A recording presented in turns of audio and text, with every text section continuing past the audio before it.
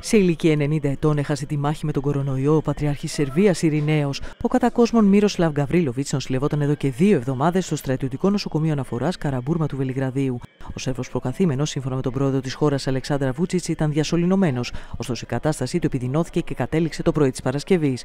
Ο προκαθήμενος Σερβικής Ορθόδοξης Εκκλησίας είχε χωροστατήσει την 1η Νοεμβρίου στην εξόδια ακολουθία του Μητροπολίτη Μαυροβουνίου και Παραθαλασσίας Αμφιλόχιου, ο οποίος νοσηλευόταν και αυτός με COVID-19.